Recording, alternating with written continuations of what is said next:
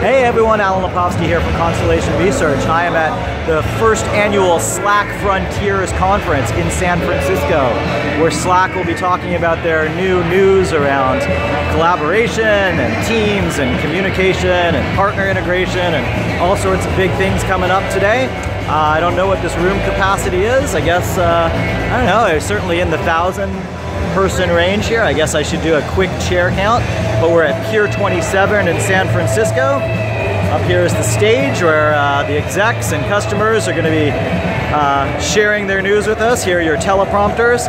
So stay tuned for me today, sharing the news about what's going on and uh, answer any questions I can for you. Here's my, my fellow analysts that are uh, making, making fun of the fact that I'm up here recording, so say hi to them and uh, have a great day.